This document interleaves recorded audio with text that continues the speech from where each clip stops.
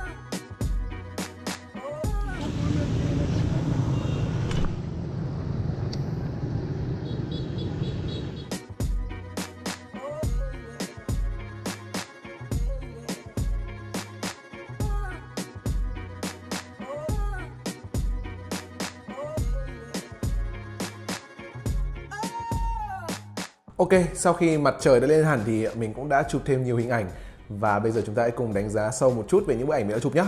Về chi tiết ý, thì ở bức ảnh đầu tiên các bạn có thể thấy rằng là các cái chi tiết thể hiện khá là rõ trong điều kiện đủ sáng và những cái khóm hoa và lá mình chụp được tách biệt một cách rất rõ ràng và những chi tiết rất nhỏ từ những cánh hoa và lá cũng được thể hiện ở đây. Về màu sắc thì camera thể hiện một cách trung thực, không hiện tượng ám vàng hay ám xanh quá mức. Ở ảnh tiếp theo thì các bạn có thể thấy rằng là cái ảnh chụp mây này và chụp cái tòa nhà cùng với cả một ờ, khóm cây á thì cái phần mây được thể hiện một cách rất là rõ và bầu trời được kiểm soát khá là chuyên nghiệp và các bạn vẫn có thể thấy dễ dàng từng gợn mây dù là rất nhỏ. Và ở cái bức ảnh tiếp theo này, nếu các bạn chủ động zoom sâu vào cái bức ảnh chụp bông hoa trắng, thì các bạn cũng có thể thấy rằng là không quá khó khăn để nhìn thấy từng cánh hoa và đường gân. Cái chi tiết được làm rất rõ và không hề có cảm giác gắt mắt. Và thêm vào đó, đây là cái cánh hoa màu trắng, phản ánh sáng rất mạnh trong vùng trời nắng, nhưng mà camera vẫn kiểm soát rất tốt và không hề có hiện tượng bị cháy về màu sắc thì sao? Ở bức ảnh này thì các bạn có thể thấy rằng màu sắc của những khóm hoa được thể hiện rất là nịnh mắt. Để mình thích ở bức ảnh này đó là màu sắc không hề bị đẩy lên quá cao. So với trải nghiệm thực tế của mình ấy, thì màu sắc nó sẽ được đẩy nhẹ lên thêm một chút và việc này giúp cho bức ảnh của các bạn thêm phần nịnh mắt, đồng thời tránh được hiện tượng giả ảnh do màu sắc không trung thực. Ở bức ảnh thứ tiếp theo thì các bạn có thể thấy rằng mình chụp cái cửa hàng cà phê yêu thích của mình.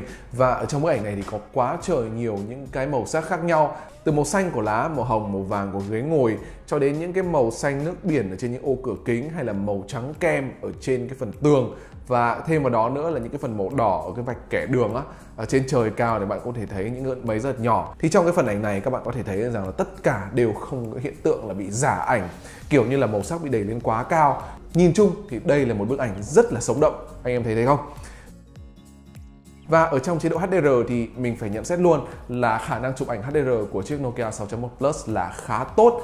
Trong điều kiện ánh sáng hơi cao một chút thì các bạn có thể thấy rằng là cái bức ảnh của mình nó hơi bị cháy Mặc dù là những cái phần chi tiết vẫn được thể hiện rõ, tuy vậy thì nó vẫn cháy hơn so với bình thường. Nhưng khi các bạn mở chế độ HDR lên thì bức ảnh được cứu một cách rất là xuất sắc. Có hai điểm mình thích ở trên bức ảnh này, đó là màu sắc và chi tiết.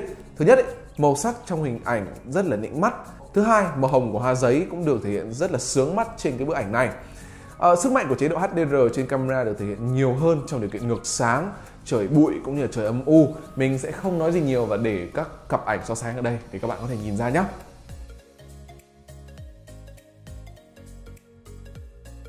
Trải nghiệm chụp ảnh từ camera chính theo mình đánh giá chung là khá ổn. Tuy vậy thì ờ, với những bức ảnh selfie thì mình lại không đánh giá cao lắm. Mặc dù cái điểm mạnh của nó là màu sắc khá là chân thực, phù hợp với những người con trai.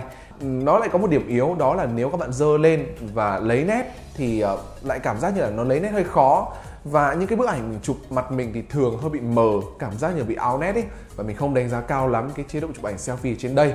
Đổi lại thì các bạn lại có rất là nhiều chế độ chụp hình hay ho, quay phim, cả mặt trước, mặt sau, camera trước, camera sau. Thì theo mình thấy đây cũng là một trong những cái điểm bù trừ khá là tốt ở trên camera của chiếc Nokia 6.1 Plus đó là một ngày mình uh, tập thể dục và cái uh, thói quen này của mình mình không còn giữ nữa. Tuy nhiên là khi mà ngày xưa mình còn làm thì uh, mình rất muốn chụp lại những cái bức hình này và cuối cùng thì mình cũng đã đạt được ước mơ đó để chia sẻ cho bạn xem. Thì thì các bạn có thích cái uh, buổi tập thể dục buổi sáng đạp xe quanh hồ tây của mình hay không? Thì các bạn có thể để lại ý kiến comment ở phía dưới. Và các bạn đừng quên bấm nút subscribe và bấm chuông trên kênh youtube của Relap để không bỏ lỡ bất kỳ video về lifestyle như này nhé còn bây giờ xin chào và hẹn gặp lại.